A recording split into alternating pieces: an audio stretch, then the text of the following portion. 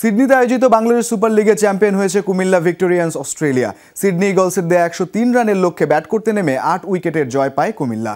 আগে ব্যাট করতে নেমে চব্বিশ ওভার পাঁচ বলে একশো দুই রান করতে সক্ষম হয় সিডনি ইগলস। দলের হয়ে সর্বোচ্চ উনচল্লিশ রান করেন মামুন। জবাবে আঠারো ওভার দুই বলে মাত্র দুই উইকেট হারিয়ে জয়ের বন্দরে পৌঁছে যায় কুমিল্লা ভিক্টোরিয়ান্স অস্ট্রেলিয়া। দলের হয়ে একান্ন বলে আটান্ন রানের দুর্দান্ত ইনিংস খেলে ফাইনালের ম্যাচ সেরা হয়েছেন রিয়াদ হোসেন। এছাড়া টুর্নামেন্ট সেরার পাশাপাশি আসরের সেরা বাংলাদেশি ব্যাটারের পুরস্কার জিতেছেন রিয়াদ। সেরা বোলার ঢাকা চার্জার্সের আশিকুল ইসলাম।